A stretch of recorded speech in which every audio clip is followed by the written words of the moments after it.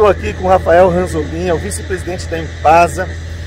Hoje é o dia da mobilidade limpa, onde está sendo feita, é um evento uh, de entrega de parte dos 50 vagões que a Empasa adquiriu junto à Rumo e a GBMX aqui em Hortolândia.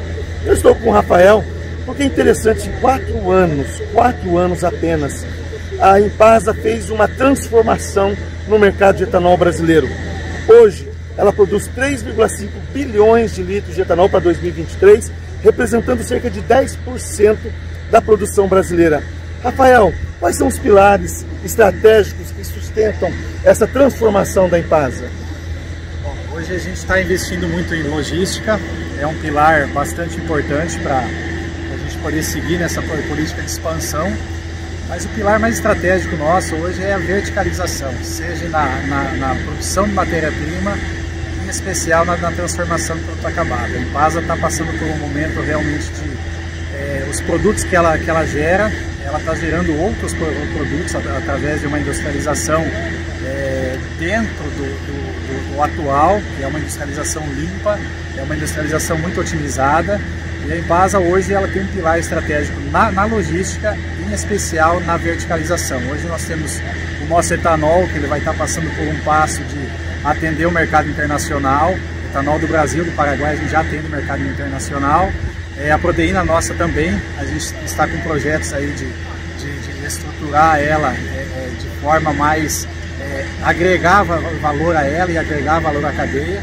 O nosso óleo de milho também, é, recentemente é, startamos uma indústria em Dourados, onde está fazendo todo esse trabalho de, de oferecer ao mercado e ao mercado mundo várias, várias opções dentro do, do, do óleo do, do milho e também energia limpa. A gente tem geração de energia elétrica é, é, a partir do processo nosso, também investimos em, em energia solar.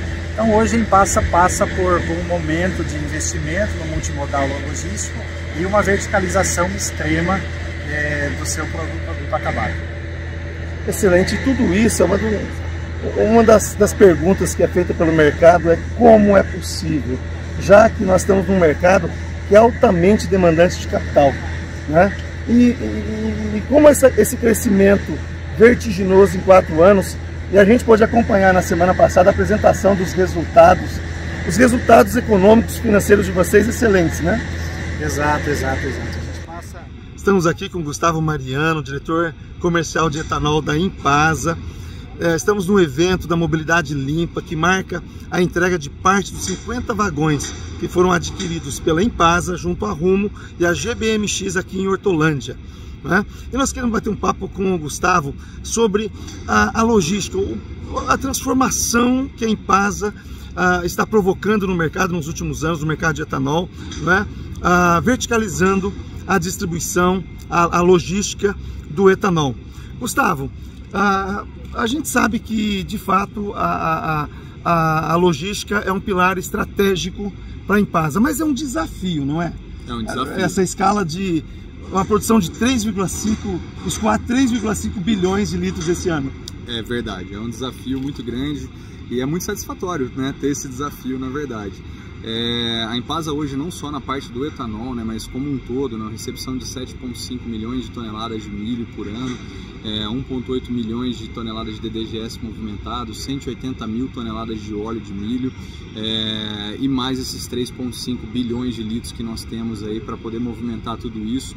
A gente dispõe de todos os modais, na verdade, né? Hoje nós temos aí o rodoviário, o ferroviário, que é a pauta principal do dia aqui nossa, é, fluvial, marítimo e o dutoviário também.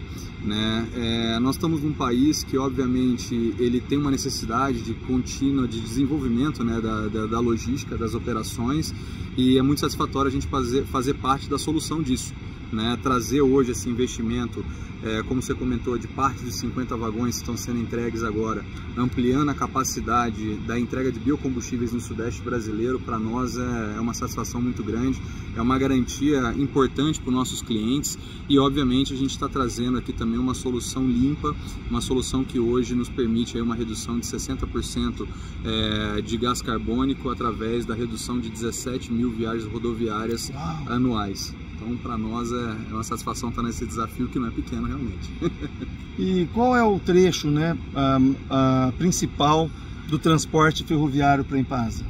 Hoje nós é, fazemos a entrada no sistema ferroviário através de Rondonópolis, no Mato Grosso, e descemos até Paulínia, no estado de São Paulo, para poder fazer a entrega aqui na região sudeste. Depois há uma transferência é, para as regiões aqui próximas, estados do Rio de Janeiro, Minas Gerais e Paraná, além da, do próprio estado de São Paulo, que é um grande consumidor de biocombustível. É, para nós hoje é, é, o trecho que nós utilizamos é, como, como trecho ferroviário.